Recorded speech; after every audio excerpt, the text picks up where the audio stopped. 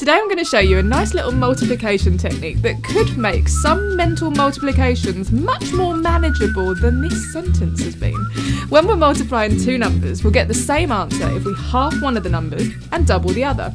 To work out 50 times 16, we can double the 50 to give 100 and half the 16 to give 8. 100 times 8 is 800. Let's see another one. 37 times 20 looks a bit ugh, but we can double the 37 and half the 20. 74 times 10, 740. Much more manageable. This technique works best when at least one of the numbers is even, because halving an odd number will give us a decimal, but we can apply the technique more than once. Do 25 times 36, we can double the 25 to give 50 and half the 36 to give 18. Then we can double the 50 to give 100 and half the 18 to give 9. 100 times 9, 900. When it comes to mental multiplication, halving and doubling could half your time and double your success.